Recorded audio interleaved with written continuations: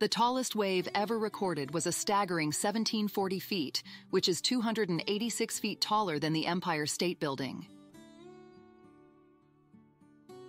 A 2006 survey revealed that the majority of Icelanders, 55.5%, either believe in the existence of elves or are open to the possibility of their existence.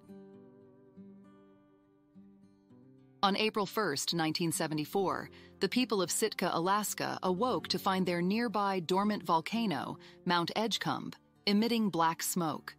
When a Coast Guard pilot flew closer to investigate, he discovered 70 tires burning and the words April Fool written in the snow. After experiencing a traumatic event, playing visual pattern matching games such as Tetris may help to reduce the frequency of PTSD related flashbacks. You may be astonished to learn that the classic video game NHL 94 was created in a barn by someone who had never watched a hockey match.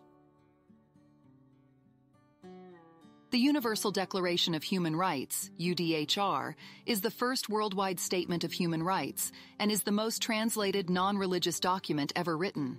It is a testament to the inherent rights of all people.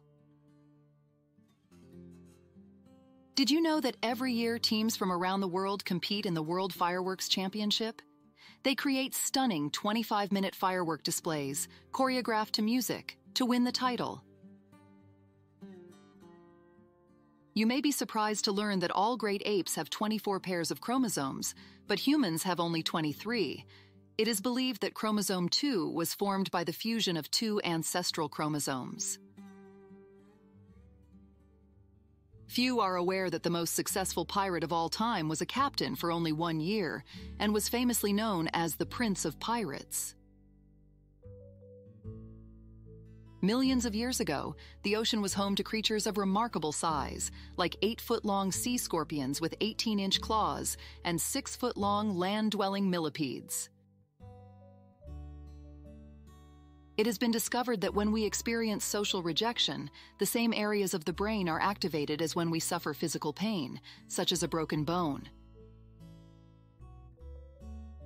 In 1986, Walter White, an air traffic controller, was held accountable for the crash of Aeromexico Flight 498 in Los Angeles airspace, leading to a heartbreaking loss of life. You may not be aware, but chiggers don't burrow into your skin. Instead, they inject enzymes that break down skin cells, forming a tube through which they can feed.